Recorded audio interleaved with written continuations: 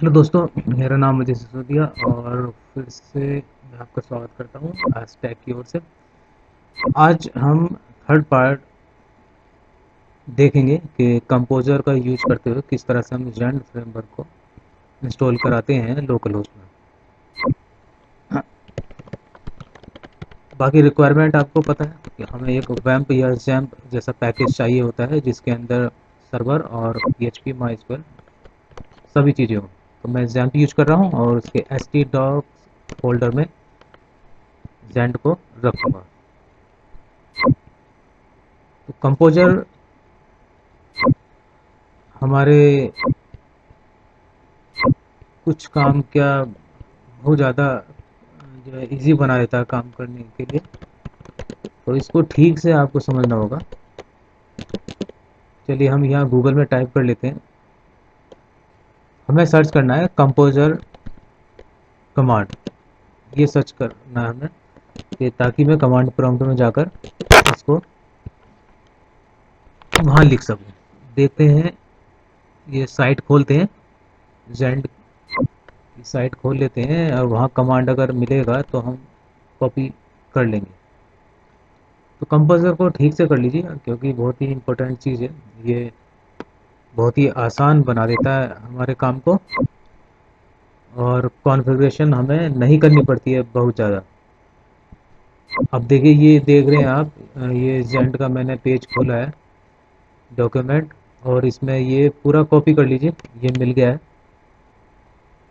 Composer create project और सबसे last में जो नाम होता है, ये उस डायरेक्टरी का नाम है। जिस नाम से आप प्रोजेक्ट बनाएँगे तो उस नाम का फोल्डर क्रिएट होगा और सारी फाइल्स और फोल्डर जो भी होंगे वो उसमें ही सेव होंगे।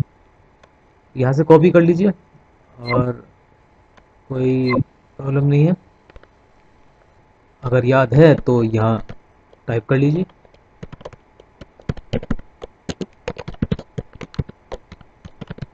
सबसे लास्ट में जो लिखेंगे आप प्रोजेक्ट का नाम। यानी मैं जैंड लिखूँगा और जैंड नाम का एक फोल्डर बन जाएगा एस टी डॉक्स में। तो ये कमांड लिख चुके हैं और ये एंटर किया है बट अब यहाँ काम नहीं किया है। चलिए देखते हैं।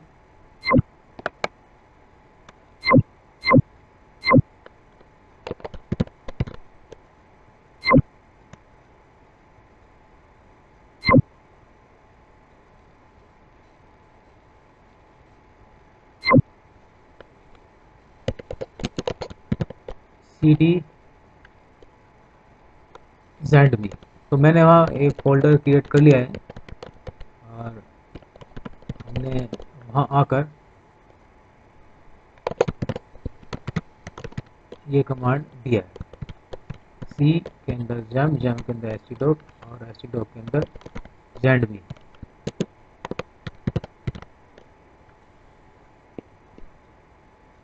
कंपोजर में आपको यहाँ हाँ।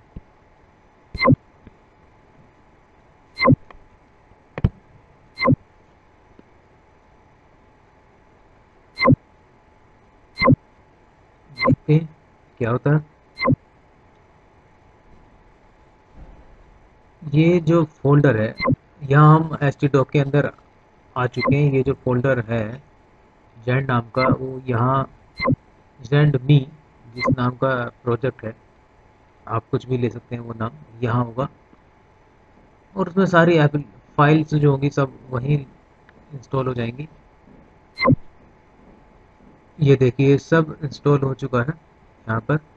और एक वेंडर नाम का फोल्डर भी क्रिएट हो गया है, जिसमें ये जो पैकेजेस हैं, यानी लाइब्रेरीज हैं, वो यहाँ इंस्टॉल हो रही है।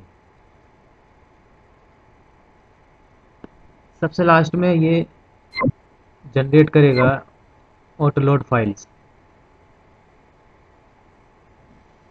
और आपसे पूछा भी जाएगा कि आप जो इंस्टॉलेशन कर रहे हैं इंस्टॉल कर रहे हैं, वो आप कम से कम रखेंगे या और ज़्यादा? यही आपसे नीचे पूछ रहा है। Do you want to animal install अभी यस कर दीजिए, अभी कोई ज़्यादा ज़रूरत नहीं है। आप यस कर सकते हैं। नो प्रॉब्लम तो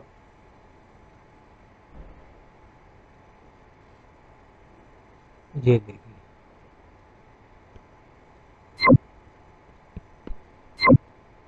अब देखते हैं ब्राउज़र पर जाकर लोकल होस्ट टाइप कर लेते हैं। चलिए सर्वर स्टार्ट कर लेते हैं। इसके बाद हम पेज को रिफ्रेश करेंगे। देखते हैं default page object not found ये प्रॉब्लम तो वर्चुअल होस्ट की है। वर्चुअल होस्ट में इसको पाथ नहीं मिला है। अभी हम इस पर ध्यान नहीं देंगे नेक्स्ट वीडियो बनाएँगे, तब वहाँ डिटेल में जाएँगे।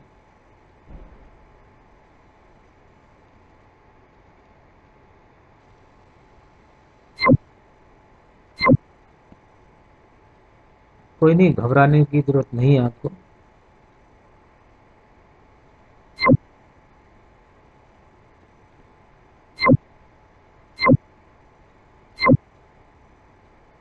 ये देखिए। ये डिफ़ॉल्ट पेज लोड हो चुका है। बस इतना ज़्यादा टफ नहीं है। बहुत ही आसान है। ऐसा टफ नहीं होती है कोई चीज़। और ध्यान से देखें तो इजी होता है। तो कंपोजर के थ्रू हमने ये पार्ट थ्री कंप्लीट कर लिया है। और जेंट को लोकल होस्ट ने हमने इंस्टॉल करा दिया है। तो नेक्स्ट वीडियो का इंतज़ार कीजिए। लाइक और सब्सक्राइब कीजिए दोस्तों। Good bye